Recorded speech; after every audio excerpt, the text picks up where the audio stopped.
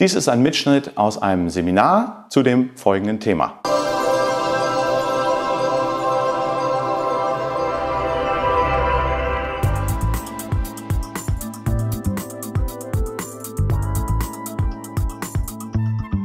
Wenn Sie es mit Ihrer Hausbank machen, ich empfehle das grundsätzlich immer. Ich sage immer, sprechen Sie als erstes mit der Hausbank.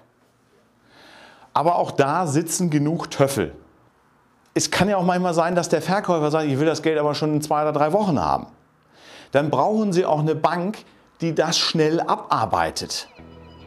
Ja? Es gibt so eine große äh, Bank, die aus Holland kommt, die mit so einem Basketballspieler immer Werbung macht. Du, ähm, die haben teilweise acht bis zehn Werktage Bearbeitungszeit. Da reichen sie heute ein oder am, am Montag und dann haben sie frühestens in drei Wochen ihre Darlehensverträge.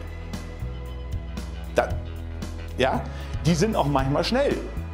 Ja, wenn nichts los ist und die Zinsen gerade ein bisschen höher sind, dann haben die auch manchmal nur drei, vier, fünf Werktage Bearbeitungszeit.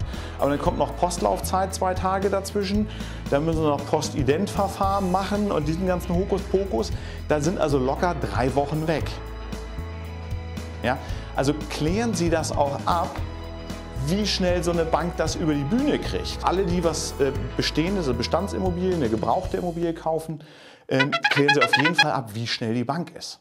In diesem Wissen. äh,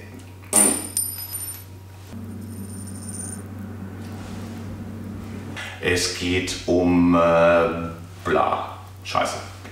So. Baufinanzierung? Schütt.